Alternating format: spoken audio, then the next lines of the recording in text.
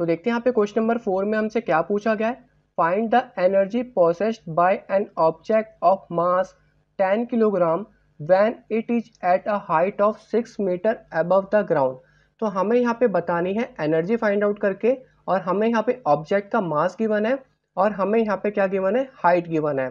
तो इसको यहाँ पे करते हैं सॉल्व तो हम यहाँ पे सबसे पहले गिवन वैल्यूज़ लिख लेंगे।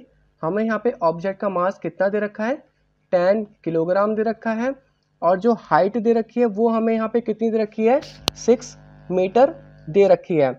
और जो यहाँ पे ग्रेविटी लगेगी, वो हमारे यहाँ पे क्या लगेगी? 9.8 मीटर पर सेकंड स्क्वायर की लगेगी।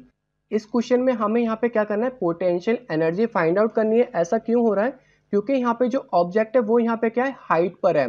तो मान लो कि हम यहाँ पे क्या है? एक यहाँ पे कोई बॉल है, इसको हम यहाँ पे क्या ले गए? इसको रूफ पर ले गए। कहाँ पर ले गए? रूफ को ले गए। और उसकी हाइट यहाँ पे कितनी है रूफ की? सिक्स मीटर है। और जो ऑब्जेक्ट का मास है वो यहाँ पे क्या है? टेन किलोग्राम है। तो इसमें अब कौन सी एनर्जी स्टोर हो गई? इसमें अब एनर्जी स्टोर हो गई पोटेंशियल एनर्जी और जैसे ही हम यहाँ पे इसको रिलीज़ करेंगे तो इसमें काइनेटिक एनर्जी के यहाँ पे क्या होगी? मोशन में आएगी तो यहाँ पे क्या होगा? काइनेटिक एनर्जी आ जाएगी। पर अभी यहाँ पे क्या है? पोटेंशियल एनर्जी है।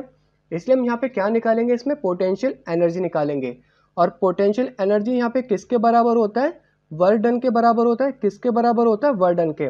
तो मैं आपको बताऊँगा कि यहाँ पे पोटेंशियल एनर्जी का फॉर्मूला निकला कैसे। तो सबसे पहले मैं आपको बता देता हूँ वर्क डन यहाँ पे था क्या। वर्क डन यहाँ पे क्या होता है हमारा? फोर्स इंटू डिस्प्लेसमेंट होता है। क्या होता है हमारा? फोर्स इंटू डिस्प्लेसमेंट होता है। और जो फोर्स होता है, वो हमारे यहाँ पे क्या होता है? मास इंटू एक्सलेशन होता है। तो हम एक्सलेशन की जगह हम यहाँ पे क्या लेते हैं? ग्रेविटी लेते हैं, क्योंकि यहाँ पे एक्सलेशन जो लग रहा है, वो ड्यू टू ग्रेविटी लग रहा है। तो इसका यहाँ पे फॉर्मूला यहाँ पे क्या बन जाता था? एम जी और डिस्प्लेसमेंट हमारे यहाँ पे हाइट ही होती थी तो एम जी एच बन जाता था एक्चुअली में फॉर्मूला क्या बन जाता था?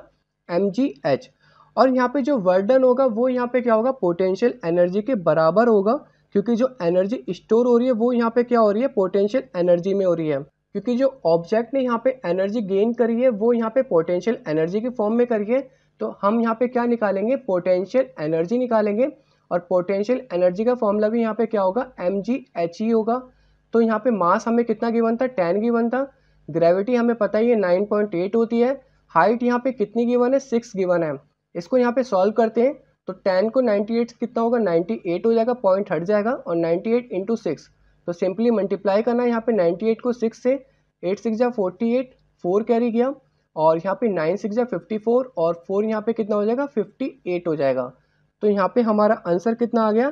फाइव डबल एट जूल आ जाएगा, क्योंकि पोटेंशियल एनर्जी और वर्डन यहाँ पे सेम ही है और दोनों की यूनिट यहाँ पे क्या होगी? जूल होगी। होप आपको ये वाला आंसर यहाँ पे समझ में आ गया होगा। अब हम चलते हैं अपने नेक्स्ट क्वेश्चन की तरफ़।